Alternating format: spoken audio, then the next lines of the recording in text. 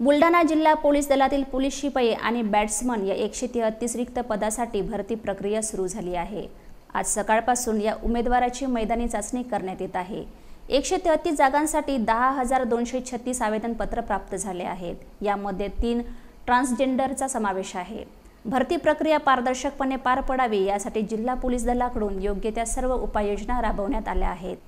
या संदर्भात जिल्हा पोलीस अधीक्षक सुनील कळसने यांच्याशी संवाद साधावा. असे प्रतिपादन संदीप वानखेडे यांनी केले.